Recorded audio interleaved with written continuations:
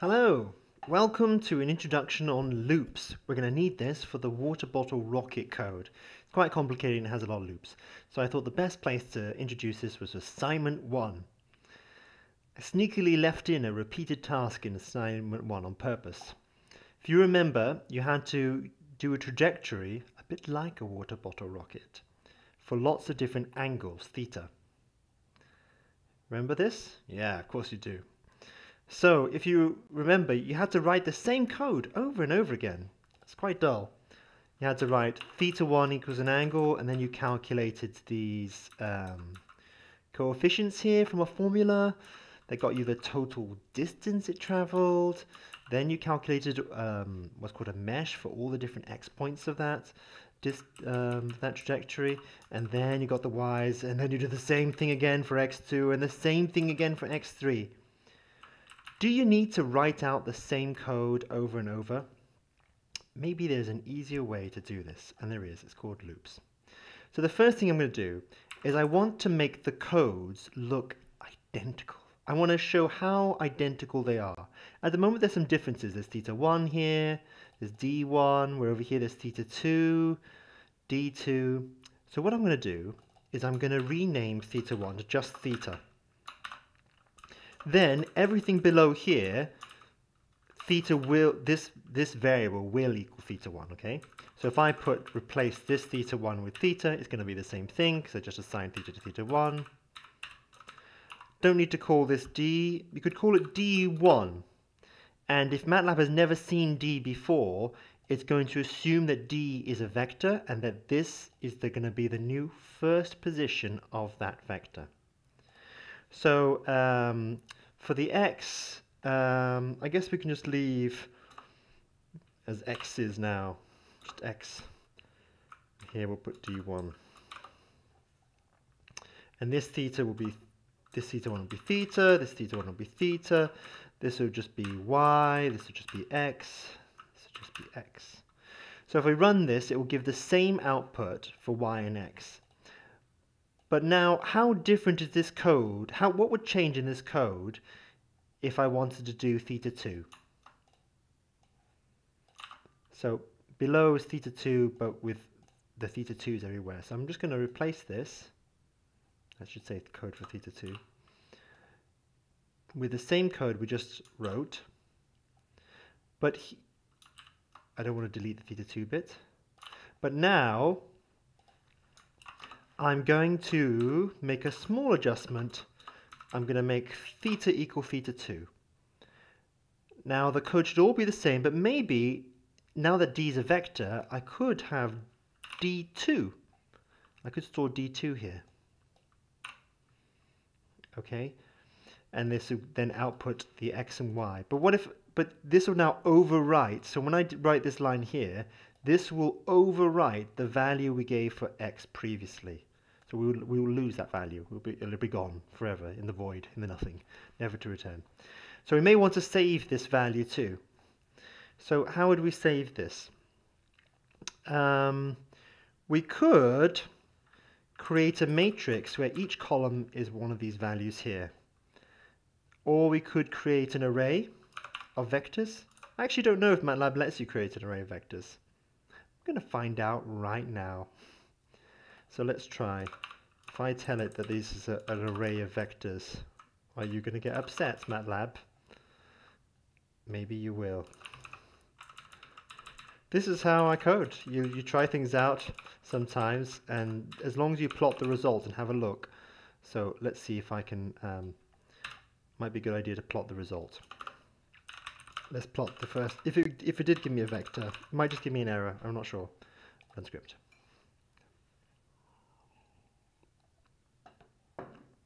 Mm-hmm. no thank you, said MATLAB. Some programming languages allow that. So I've got a backup. I thought this might happen.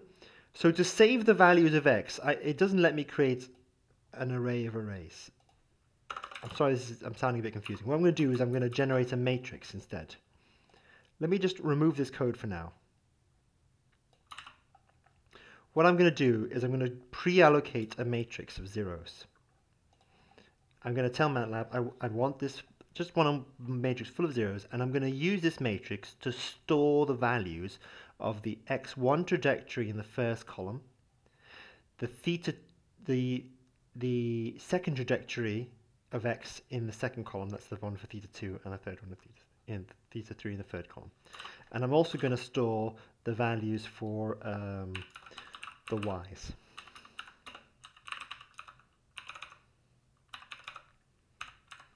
And now I'm going to paste the code we just wrote. So here I need to make a small adjustment. I want to store the values of the first column. So if I put, um, if I, if I, first I need to give the right name of the variable, it was x matrix. If I use this, it says all the values going down, that's a column, and this one here, this refers to the first column. If this was 2, this would be the second column, so it's the first column.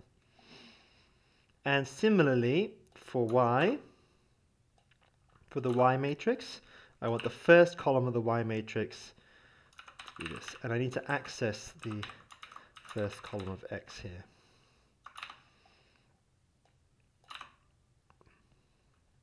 Okay, I need to do the same thing for um, for theta 2.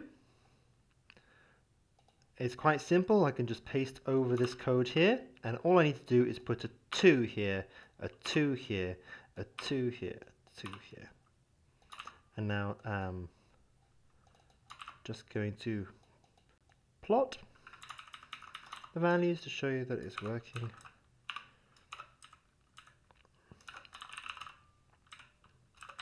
Okay, run script.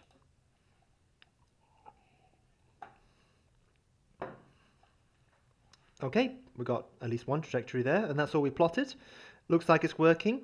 You can actually plot each column of this matrix against each column of this one just by removing the brackets. It will just try to plot them all. So we've done two trajectories, we should see two trajectories. I'm going to add um, some labels. Oh, look at that. Perfect. Oh, the X has gone the wrong... Look, the second trajectory has gone through the floor. Something went wrong. I must have copied. Um, yeah, there you go. Two. it had to be two everywhere there. And let's add some labels. Okay. We could do the same thing for the third trajectory. But what's the point? Why am I writing so much? What I'm trying to do here is I'm trying to show you that the code looks identical. When you can make the code look identical, except for a one number. So look, I've changed just one number, the number 2 here, here, here, here, and here. Then we can create a loop to automatically repeat that code over and over while changing just one number. And that's what we're going to do. So I'm bored of writing out this code. I'm going to keep the first one there and I'm going to write the code for all the thetas. All the thetas together. So first thing I'm going to do is I'm going to create a theta vector. So this is a vector that stores all the different values of theta. I don't need these two anymore. And uh, I'm just going to copy in the pre-allocation we had earlier. This just gives zeros to both, to both these matrices. Right. Now here's where the magic is. I'm going to tell MATLAB to repeat the code below three times. I from 1 to 3. This is a vector with three numbers. It's 1, 2, and 3. It's going to make i first equal 1, and then it's going to execute everything below. So uh, then it's going to make i equal 2, and it's going to execute everything below. So we need theta here to equal, let's indent, can we indent this? Yes. It looks nice to indent it. Means uh, give it some space. And you need to write an end here. That tells MATLAB that you want to repeat the code only between the for and the end. So first thing we need to do, if you remember, we have to make theta equal um, one of the values in our vector.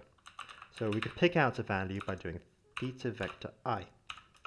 So then, every all the code below here, everywhere there's a theta, it's going to replace it with the ith component of this vector. So when i equals 1, which is the first step, it'll use um, 30 times pi over 180. Let's just do a little demonstration that we can ask MATLAB to display what's going on. So I want you to display uh, theta. And I think I can ask it to do a string and then a vector. Um, let's have a look what happens. And let's just make sure everything is correct here. So here, this isn't 2, this is going to be i. It'll first be 1, then it'll be 2, then it'll be 3. So you just place i. Okay, exciting time, run. Error using display.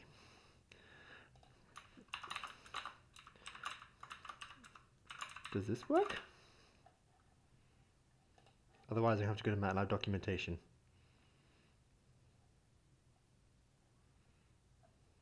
Yes, it does. Okay. Look at that. It's printed the values of theta. And it's got all the three trajectories. Okay, I made that look too easy. So um, I want to print the value of theta followed by the value of i. So I know which, no, actually I want to print i first.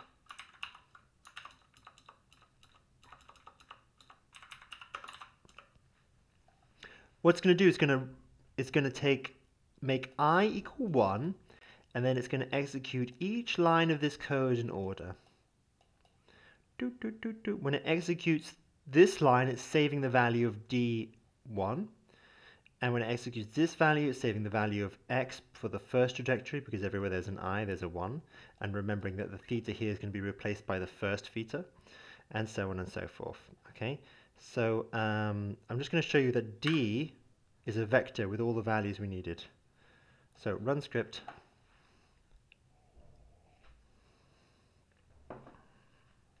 Oh, here we go. So I1, and this was the theta, which is for 30, I believe then it's printed that there's i is 2, value of theta for theta 2, i is 3. And in, after printing those values, it executes all the code it needs to calculate the d's. At that, isn't that cool? So d, the first d is around 60, so trajectory for 30 degrees is 60? Yes, it is. The second one is 67. Yes, it is. It's further. And the third one is even shorter. It's 57, and you can see that's all correct. So there you have it. That's how to use a loop for the trajectory question. But um, we could simplify this down just to repeat tasks, any task we want really. So I'm just going to remove uh, this. So whatever, whatever you want to do, if you want to do more than three, you could do eight, eight values, we could, what could we do? We could, and just, we can do any, any formula you like. Maybe you want to take i to the power of 2 minus i plus some random number. I think that probably works for a random number. Actually, I'll, I will not do that. Um, it will, and, and this line here saves the value on the right to d, so that we can access later outside. And I'll put that out here just to show you, and I'll remove this one.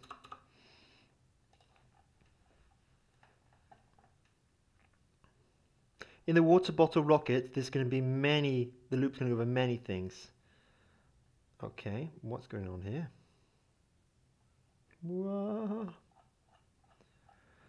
Is that because I didn't put a semicolon there or something? I.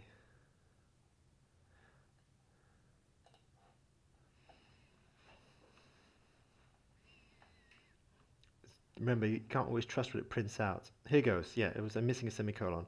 So I've asked it to print i, 1, 2, 3, 4, 5, 6. And here's the end result of the vector, and that comes from this line here. So this repeats this code over and over, and every time we repeat it, it changes the value of i. Just in case it's not clear this what this 1 to 8 is, this 1 to 8 is a vector that looks like this. Okay, um, thanks. The water bottle rocket is going to use a huge loop that goes over many, many, many values. So we're going to need to use a loop and a functions. I'll see you back there for that.